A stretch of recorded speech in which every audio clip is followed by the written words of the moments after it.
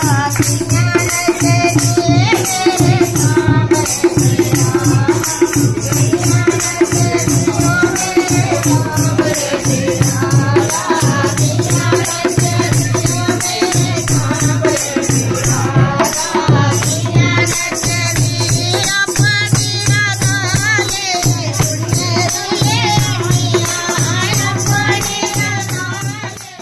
नमस्कार N news देख रहे हैं आप और मैं हूँ हिमांशु शर्मा।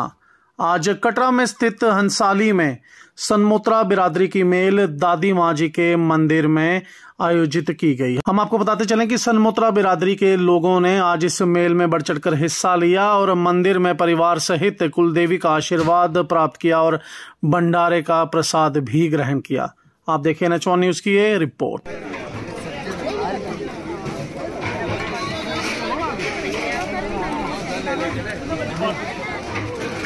दो हज़ार तेरह में किया पहले तो मंदिर तो पहले भी था, लेकिन नया मंदिर बनाया, फिर एक स्थापना की, मूर्ति की, उस पर जब स्थापना की तो हमारे चाचा जी थी मेरे पुजारी जी, अमीर चंद पुजारी जी, और उनकी धर्म बदले वो दोनों बैठे थे हवन में, स्थापना में कम। पंडित थे रामेश्वर जी। उन्होंने ये सारा काम से पूर्ण कराया, इसके स्थापना की, तब से ये भंडारा चल रहा है। वैसे ये मंदिर है मंदिर छोटा था, लेकिन पहले हज़ार साल पहले से हंसाली ही गाँव था, कटरा नाम ना इनका नाम की कोई चीज़ नहीं थी हंसाली था। हमारे जो बुज़ुर्ग थे, वो माता के पुजारी थे पूजा पाठ करते थे। दूर दूर से लोग आते थे उनसे न्याय करवाने। बाकी उन्होंने गौशाला रखी थी। गौशाला के लिए ना, उनके चार बेटे थे। वो पहाड़ी में जाते थे घास वगैरह लेने के तीन पहले आगे एक पीछे रह गया था। मैं इसलिए बता रहा हूँ, क्योंकि इस मंदिर में सेब निषेध है, सेब चढ़ता नहीं है। वो तीन आगे सेब उसमें रेयर होता मिलता नहीं था। तो माँ ने तीनों बेटों को दे दिया। वो एक ने पूछा कि ये गड़ी किसके लिए उन्होंने कहा कि अगर मेरा बेटा जो पीछे उसको देना उसने कहा, वो तो गिर गया उसकी तो डेथ हो गई है। इतनी देर में वो आ गया उसने सेब खा लिया।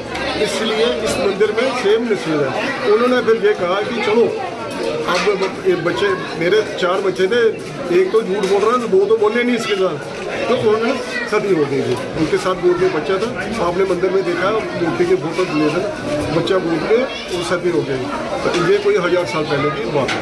तो ये हमारी सनमोत्रा बनादरी है। फिर तीन तो एक तो आली हंसारी में रहते थे एक सरून में करमाल में एक नलेन में। हाँ, चारों बेटों की आगे फैमिली है पूरी सनमोत्रा फैमिली है। हार्डली नंगल भी आता है। बाकी काफ़ी गाँव आते हैं। जैसे जैसे फैलता है ये, परिवार जैसे जब पता बाहर जैसे पेंसिल है। लहनू है मंसल है, जम्मू में है, श्यामा चंद वगैरह कल काफ़ी दूर से आते हैं। अब हमारे जो बुज़ुर्ग थे, उनका नाम था श्री बाबा। साहब। आज हमें अपने दादी बुढ़ियों की भंडारे में आने का सौभाग्य मिला, परिवार सहित। ये सभी ने जहाँ पर जब जब मंदिर बना तो सभी की इच्छा थी कि हम सभी की मेल लगती है। हम भी अपने सुमत्रा बरादरी की दादी बुढ़ियों के लिए भंडारा करें और एक मेल हर साल एक दिन निश्चित किया, वो निश्चित किया 20 अप्रैल।